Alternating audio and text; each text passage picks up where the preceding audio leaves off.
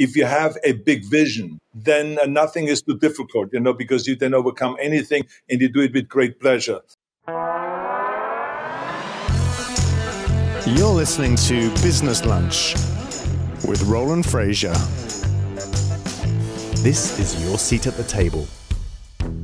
Uh, we're doing a special live edition of our Business Lunch podcast here, and uh, Governor Arnold Schwarzenegger is, is going to be here with us, and we're going to get to ask him some really fun questions. One of the most amazing people, when I, when I read his autobiography, I was just blown away. I had no idea that uh, he'd done all the things that he's done. So the official bio is Austrian American actor, businessman, retired professional bodybuilder, and former politician who served as the 38th governor of the great state of California from 2003 to 2011. I'd like to welcome Governor Arnold Schwarzenegger.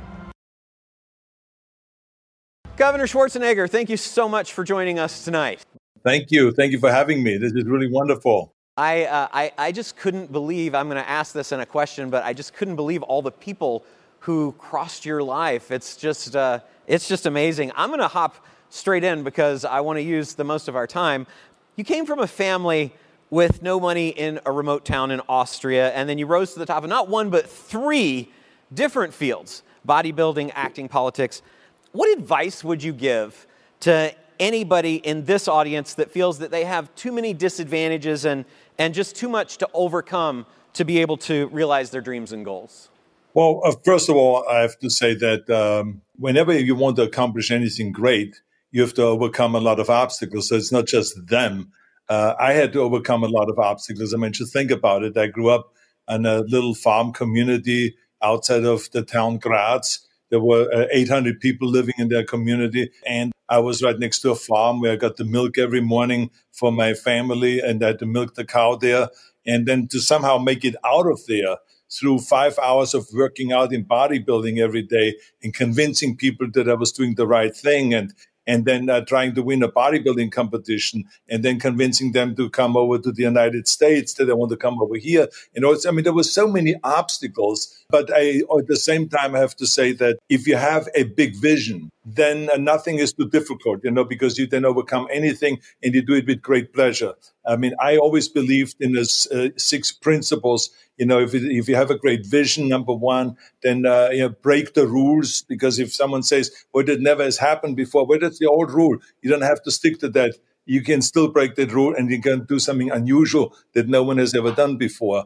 And then also, don't be afraid to fail. Was one of my rules always that I had, and don't listen to the naysayers and uh, work your ass off and uh, give something back to the community when you finally made it to give something back to the community. So I applied those principles, and I think this there's a really those were the ones that really helped me. But uh, there's a lot of obstacles that I overcome. And the other thing that I always say is, you know, that, that because a lot of people call me a self-made man, and that I'm the perfect example of a self-made man. I'm not a self-made man. I, I don't like that description because the fact is that I only was able to overcome all of those obstacles with a lot of help. I mean, if it was my parents in the beginning, if it was my teachers, my coaches, my training partners, uh, even the people that voted for me in California to become governor, right. uh, without their votes, I wouldn't have been governor of the great state of California. So you need a lot, a lot of help in order to get where you are and to really accomplish your goals. And you have to recognize that and always thank everybody for helping you to go along and to uh, achieve those goals. You mentioned that's that's really awesome. And, and speaking of goals, you mentioned several times that you have written goals. Actually, you write them down and then you visualize yourself achieving them, like standing on top of the platform as the winner in the bodybuilding competition, for example. What is your goal setting process? So you've got the six principles. How do you go about actually setting and monitoring those goals? Well, I think that the important thing is that you really think very clearly and give yourself the time to think about what is your goal because if without a vision we don't have anything. I mean it's uh, without a plan or without uh, knowing where you're going to go. I mean imagine you can have the best airplane in the world and the best ship in the world but if the pilot or the, the captain does not know where to go you just drift around. And this is exactly what happens to people in life. They drift around because they ha- don't have really a specific goal.